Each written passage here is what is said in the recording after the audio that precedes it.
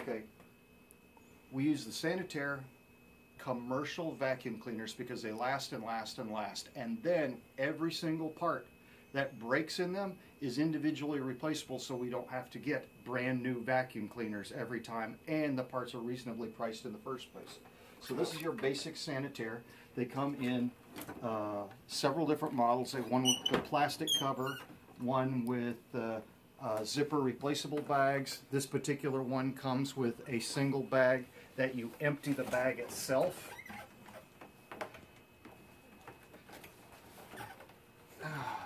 As you can see, they paid no attention to how they would put the cord up on the machine. It has the ability to wrap the cord properly, but anyway.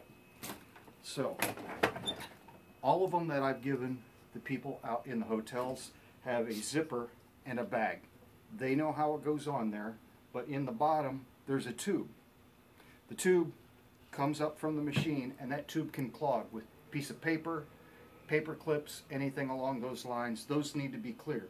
This one has a bag right here, which if I take it off, will have dirt all over the place and I'm not going to bother. I'm going to assume you can handle that. Everybody knows how this adjusts here to be able to adjust to the height of the carpet.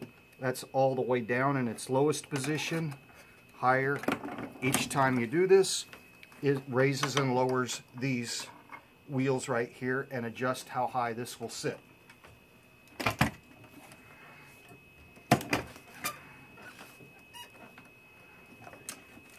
Come on. This one is falling apart. But this this one isn't owned by us. They they don't have the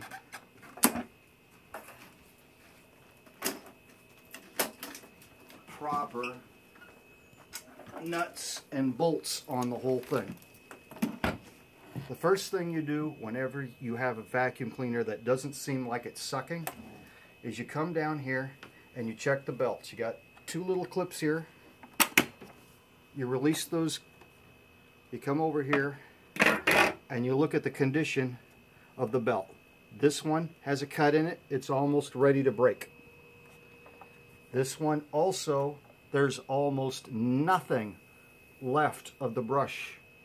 So this brush bar needs to be replaced. These come out like this. You pop these rubber caps off. And in here, there shouldn't be any string or anything wrapped around and you should be able to spin it and it should keep on spinning. This is not happening. This beater bar is almost completely shot. Personally, I would call it completely shot. The next thing is in here. If you have very little suction, you have a replaceable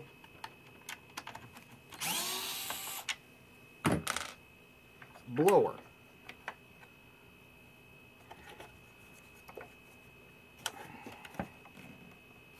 Needless to say, I did not take this apart in advance to make sure it would go. These blades in here, come on, that stays over there, comes up,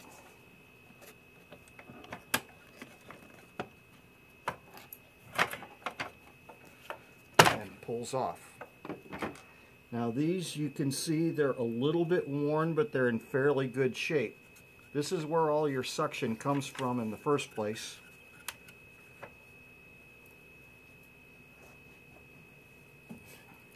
The next thing you have to check is in here to see if there's anything clogging the path.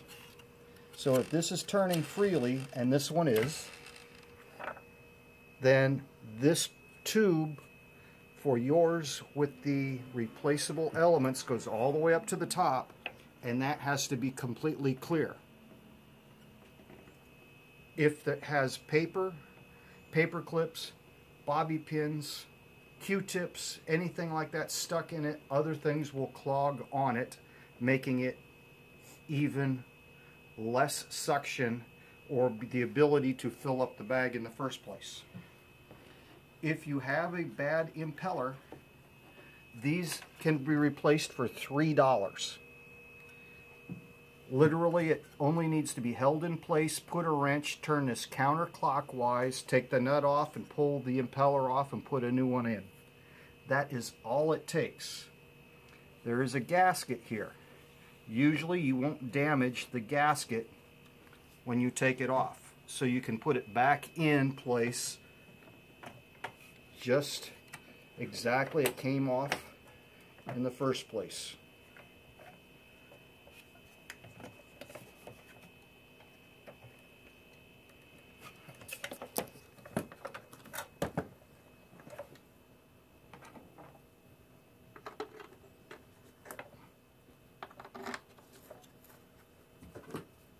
So if you need new rollers, if you need brush bars, if you need beater bars, if you need belts, I can get you any of that.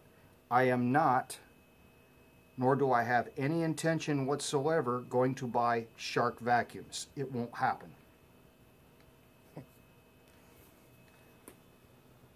I'm just being honest. Well, they do go on one direction because you see this side faces up. So it goes in exactly like that with the belt in like this.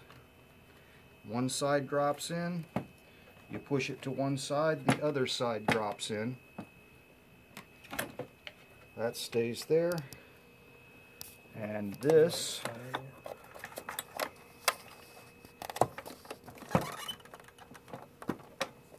now it's in place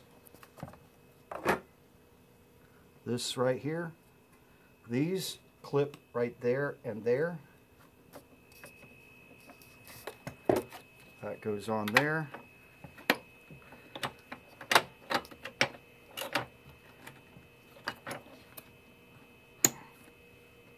Now this one is in a good state.